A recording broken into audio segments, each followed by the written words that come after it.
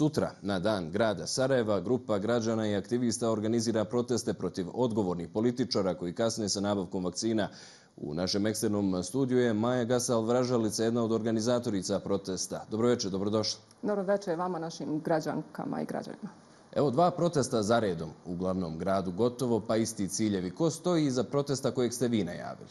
Iza protesta koje smo mi najavili e, i koji je najavljen ima već sedam e, dana i koji je u toku kako organizacijski i e, medijski, a i rekla bih koji je ispoštovao sve zakonom propisane procedure i konačno dobio odobrenja kako od Ministarstva unutrašnjih poslova kantona Sarajeva, tako i Ministarstva saobraćaja, stoji grupa žena, mala grupa žena, solidarno okupljenih oko istog cilja, to jest borba za život, upravo iz razloga što mi kao građanke i građani Bosne i Hercegovine ponkani svim dešavanjima u proteklih godinu i više dana zbog nenabavke vakcina, zbog odnosa odgovornih, a to su vlasti kako vijeće ministara Bosne i Hercegovine, tako i vlada koja već, Federacija Bosne i Hercegovine koja egzistira već sedam godina, dakle nisu implementirani izbori, protekli izbori do kraja, pa imamo vladu u tenčkom mandatu i e, budući da mi kao e, odgovorni građani i građanke plaćamo poreze Bosne i Hercegovine i sve doprinose, ne želimo da idemo e, i da čekamo donacije i da idemo e, u druge susjedne zemlje. Ovom prilikom hvala Republici e, Srbiji što nam je i to omogućila, ali mi jednostavno ne želimo jer smatramo da je odgovornost i e, apsolutno obaveza onih koji žive o našem trošku i koji su na platnom spisku da konačno počnu raditi raditi svoj posao, pošto su ovih godinu dana pokazali da to nisu u stanju, treba da podnesu ostavke i da se aktivira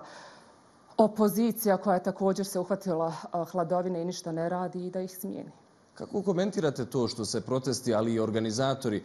posebno na društvenim mrežama stavljaju u neki politički kontekst i smještaju u neki poligon za politička prepucavanja? Kenana Musića je jednog od organizatora protesta u srijedu, dakle za dva dana optužili su za šovinizam, islamofobiju, nasilništvo. Ja zaista zbog organizacije naših eh, protesta nisam upratila sve što se dešava, niti bih da komentarišem što se dešava sa organizatorima eh, građanske inicijative, s tim da sam upoznata i prije jeli, eh, premenovanja ove građanske inicijative, da je to bila prvo Facebook grupa koju je formirao lider političke stranke Narod i Pravda, gospodin Konaković, kao iskazivanje građanske podrške gospodinu Bogiću Bogićeviću, koji je u svoj, svojoj neopozivoj ostavci bio sasvim sasvim jasan, precizan, decidan. Dakle, ne znam šta je bio uopšte povod. Mislim, oni vjerovatno znaju šta je bio povod takve potrebe za tom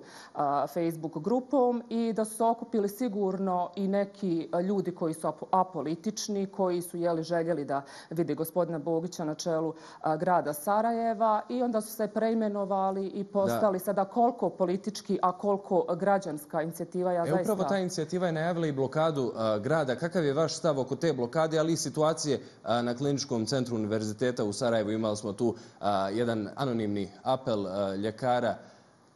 Ja nisam za blokadu e, e, grada Sarajeva, niti bilo koje ustanove institucije i ne znam, mislim da su ponukani, zato mislim da se i vežu za politiku i za političko prepucavanje upravo iz tih razloga što e, mi trebamo kao građani i građanke prvo da se upoznamo sa sistemom koji živimo, sa političkim sistemom u tom smislu da kada bismo blokirali bilo koju ustanovu, a evo samo zamislimo sada u ovoj pandemiji da blokiramo klinički bolnički centar u Sarajevu gdje se ne liječe samo ljudi iz grada Sarajeva, kantona Sarajeva, Sarajevo, nego iz drugih e, kantona u Bosni i Hercegovini, da blokiramo i da šta onemogućimo e, rad tog kliničkog centra. Postoje jasne procedure i tačno se zna kako se dolazi do imenovanja rukovodstva e, kliničkog bolničkog centra. Dakle, za sve i upravo su naši zahtjevi koji su upućeni prema vijeću ministara i vladi Federacije Bosne i Hercegovine apsolutno uzimaju u kontekst i klinički centar i sve druge ustanove koje se formiraju i imenuju na način da ih se jeli, potvrđuje u vladi Federacije Bosne i Hercegovine ili parlamentu, e, e, federalnom parlamentu, tako da kada bismo smijenili i kada bismo konačno e, smijenili gospodina Vjekoslava Mandića kojeg smo upoznali tek kada je krenula pandemija, pa tek kada je on htio da postane primjer građanima i građankama tako što je zadigao rukav da se prvi vakciniše, kada bi se on smijenio ili dao podnio ostavku, tada bi se apsolutno jeli i vlada transformisala na taj način da dobijemo onda odgovorne političare i političarke, ministre i ministrice koji imenuju upravni odbor kliničkog bončkog centra koji kasnije jeli onda vrši i formira komisiju, konkursnu komisiju za izbor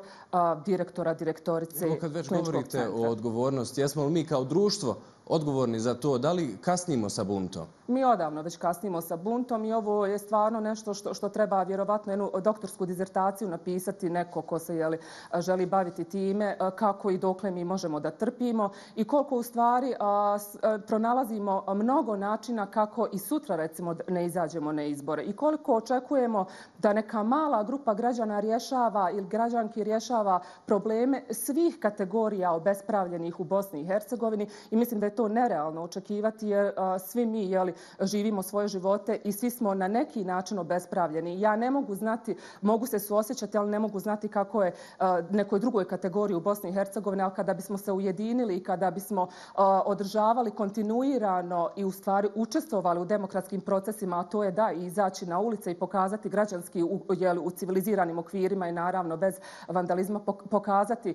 nezadovoljstvo i građanski neposluh, da to apsolutno trebamo da svi činiti, a ne možemo samo čekati da neko za nas to uradi. I samo još kratko za kraj, molim vas, vjerujete li da protesti zaista mogu promijeniti situaciju u zemlji? Ja da ne vjerujem, ja ne bi učestvala u organizaciji, jer ovo zaista uzima svo moje privatno, slobodno vrijeme. Ja recimo posle vašeg studija tek idem na posao da radim ono za što sam plaćena, jer sam deset dana u organizaciji i da ne, ne vjerujem, ne bi, ne bi se ni upustila ni u ovo, jer uvijek e, eto, držim da postoji uvijek neki pokret koji će e, biti iniciran ne od mase, od jedne, jedne male grupe građana i građanki i nikad se ne zna kad će jedna bujica postati val, a mislim da ukoliko mi ne pokazujemo koliko smo nezadovoljni, nesretni, gladni, nevakcinisani, koliko nam je ugroženo zdravlje, koliko svaki dan gubimo svojih